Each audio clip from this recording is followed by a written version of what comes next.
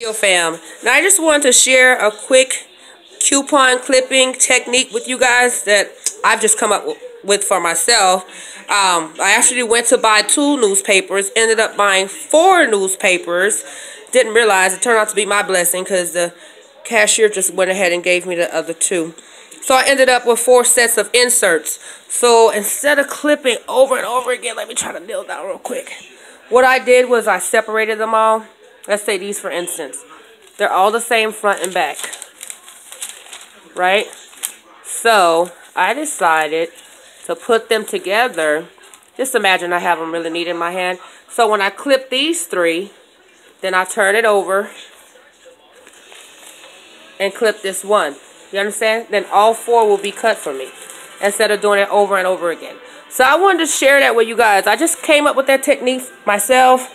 I hope that it works for you guys and uh, cuts back on time with couponing. See you later. It's Video Fan.